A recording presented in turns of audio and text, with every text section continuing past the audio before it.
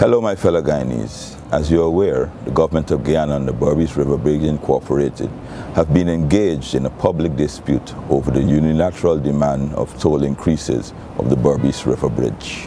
This dispute has been ongoing for years and it came to head recently with the Berbice Bridge demanding over a 360% increase in tolls for use of that bridge. We have also publicly stated that the Ministry of Public Infrastructure as well as the government of Guyana will not entertain this unilateral increase in tolls based on a flawed formula and computation. On the basis of correspondence between the two sides, most recently a few days ago, we do not envision a speedy resolution to this dispute.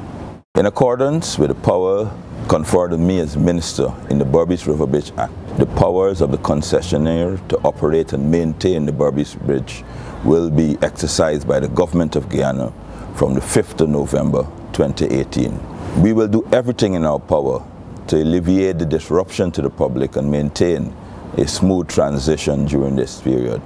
The truth is, too many of our citizens, particularly the citizens of Berbice, depend on the smooth operation of this bridge. We therefore, as a government, cannot entertain anything that will jeopardize this smooth operation.